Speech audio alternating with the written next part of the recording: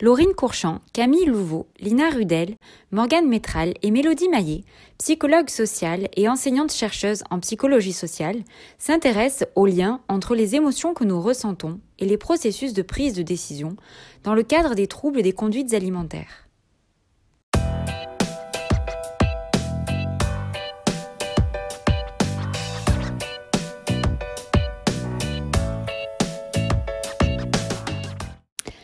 La prévalence des troubles des conduites alimentaires a été multipliée par deux entre 2009 et 2021.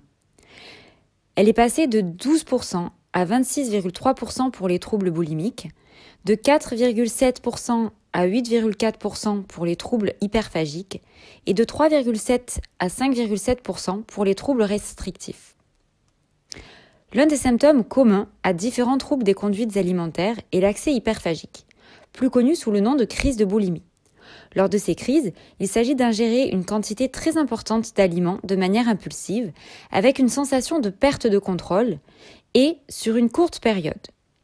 On retrouve des crises de boulimie avec ou sans vomissement dans différentes TCA, notamment la boulimie nerveuse, le trouble d'accès hyperphagique et même dans une forme spécifique d'anorexie mentale.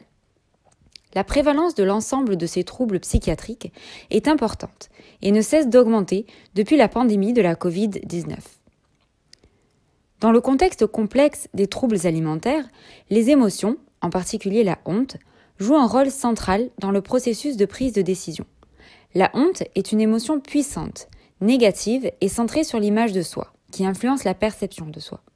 Elle peut être interne, c'est-à-dire une évaluation négative de soi-même, ou externe, c'est-à-dire une évaluation négative que nous pensons qu'autrui a sur nous.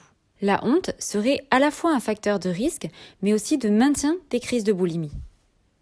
En effet, la honte corporelle peut pousser les individus à prendre la décision de moins, voire de ne plus manger. On parle de période de restriction alimentaire.